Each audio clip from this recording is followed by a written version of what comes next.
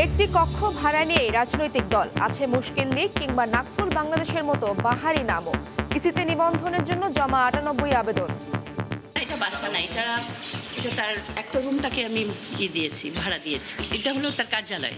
পনেরো সালে বাংলাদেশ কর্মসংস্থান আন্দোলন গঠন করছিলাম। জাস্টিস অ্যান্ড ডেভেলপমেন্ট পার্টি নামে সকল কমিটি টমিটি করে আমরা আবার অ্যাপ্লাই করছি।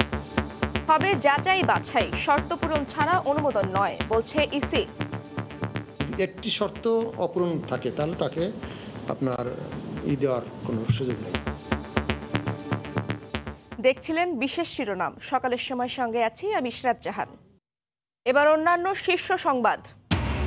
এলপিজির দাম বেঁধে দিলেও গ্রাহক পর্যায়ে নেই সুফল। প্রতি সিলিন্ডারে গুনতে হচ্ছে একশো থেকে দেড়শো টাকা বেশি। পাইকারিতেই বাড়তি দাবি খুচরা বিক্রেতার। কিশোর গ্যাংয়ের দ্বন্দ্বে আবারও প্রাণহানি। রাজধানীর মান্ডায় সিনিয়র জুনিয়র বিরোধ মীমাংসায় ডেকে নিয়ে কলেজ ছাত্রকে হত্যা। জড়িতদের খোঁজে পুলিশ। চিরকুট লিখে দশ মাস বয়সী শিশুকে ফেলে গেল স্বজনরা। অপুষ্টি, নিউমোনিয়া সহ নানা অসুস্থতা। চট্টগ্রাম মেডিকেলের চিকিৎসক নার্সদের পরম মমতায় সুস্থ। রাস্তার ওপর স্থায়ী দোকান নিয়ে বসেছেন দালালরা। টাকা ছাড়া সময় মতো মেলে না কোনো সেবাই। অনলাইন হলেও অনলাইন মুক্ত হয়নি রংপুর পাসপোর্ট অফিস। এবং কিয়েভ সহ ইউক্রেনের প্রধান প্রধান শহরে আবারও একযোগে রাশিয়ার ক্ষেপণাস্ত্র হামলা। জ্বালানি বিদ্যুৎ সহ ক্ষতিগ্রস্ত গুরুত্বপূর্ণ স্থাপনা, তীব্র পানি সংকট।